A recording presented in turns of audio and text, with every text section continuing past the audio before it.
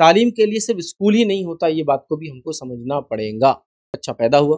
तीन साल का हो गया तो माँ बोलती, बस, मेरे सुकून के दिन आना चालू हो गए, इसलिए कि अब ये स्कूल चले जाएँगे और बस इंतज़ार करना है कि दसवीं निकले तो दो लाख, चार लाख की इसकी नौकरी लग जाएँगे, एकदम फिनिश गुड निकले। नहीं, अगर जो पेरेंट, जो वालदेन ये सोचते हैं कि बच्चे को स्कूल में डाल के आपकी ज़िम्मेदारी अदा हो गई, वो सबसे बड़े अहमक और सबसे बड़े जाहिल लोग हैं तो आपने ये मुतमिन नहीं होना है। आपको स्कूल जाने से पहले उसकी तरबियत करना है।